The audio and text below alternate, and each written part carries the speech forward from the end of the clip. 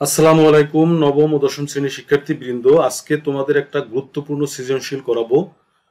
অধ্যায় নয়ের, অর্থাৎ সাধারণ গণিতের নবম অধ্যায়ের ত্রিকোণমিতিক অনুপাত, এই চ্যাপ্টারের ত্রিকোণমিতি চ্যাপ্টারের একটা গুরুত্বপূর্ণ সৃজনশীল করাবো, যেটা বোর্ডে আসছে।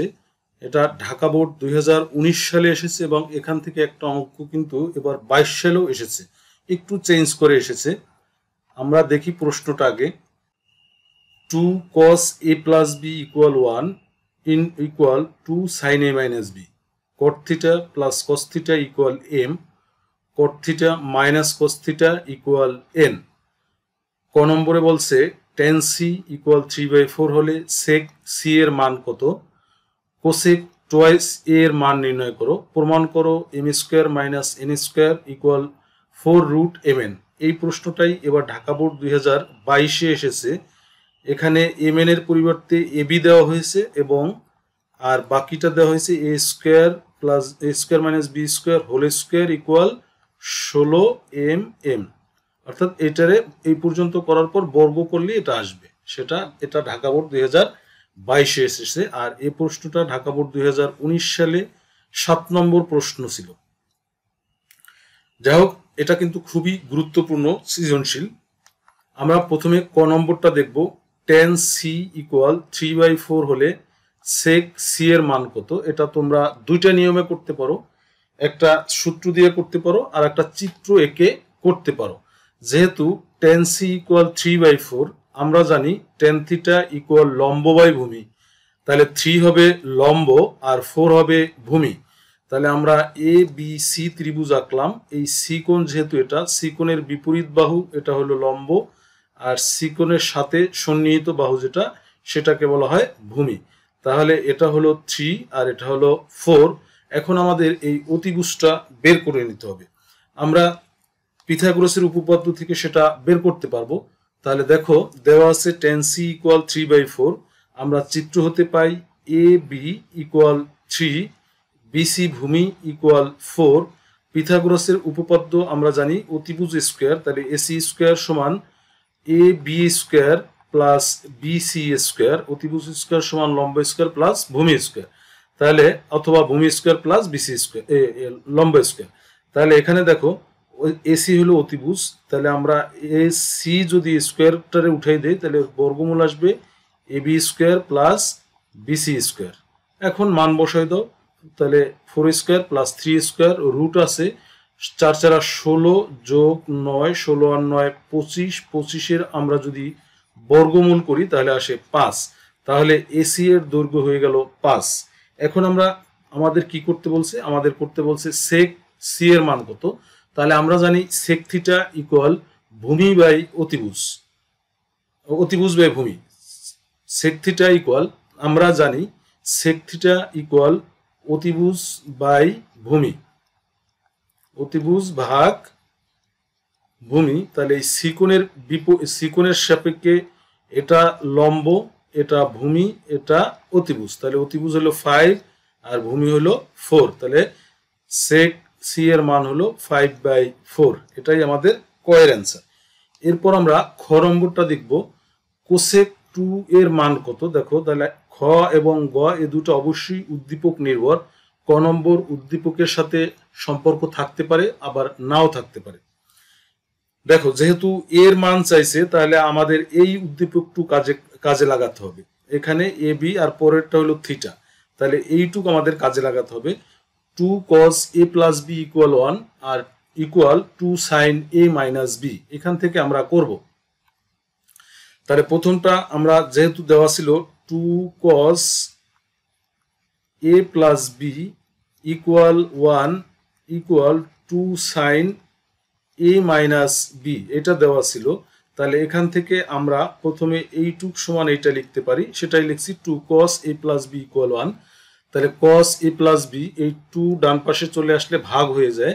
তাহলে cos A plus B equal half আমরা জানি কস সিক্সটি ডিগ্রির মান হাফ তাহলে কস এ প্লাস বি এই হাফের পরিবর্তে লেখা যায় কস সিক্সটি ডিগ্রি এখন দুই পাশ থেকে কস যদি আমরা বাদ দিই, তাহলে A plus B equal sixty degree এটাকে আমরা একটা সমীকরণ দিয়ে রাখলাম।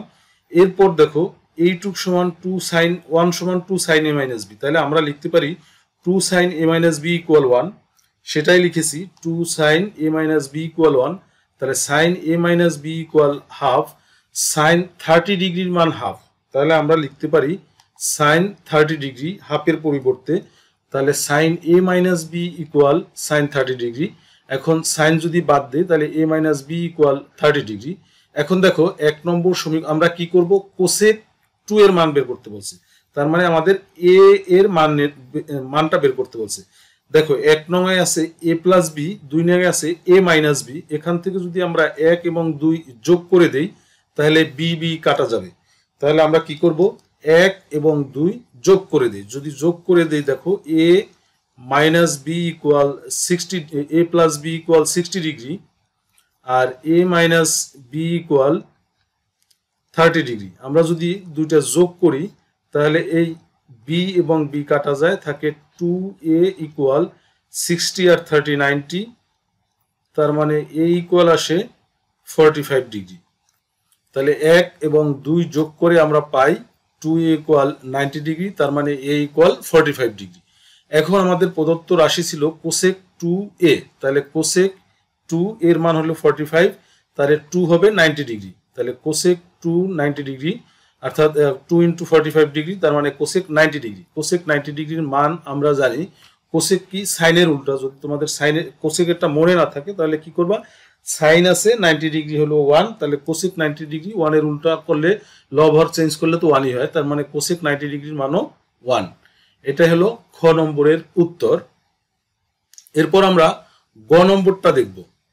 গ নম্বরে আমাদের প্রমাণ করতে বলছিল M square minus N square equal four root M N আমাদের দেওয়া ছিল cot theta plus cos theta equal M আর cot theta minus cos theta equal N এখন দেখো, বাম পাশে আছে M square minus N square তাহলে আমরা লেফট হ্যান্ড সাইড লিখে মান বসাই দিতে পারি।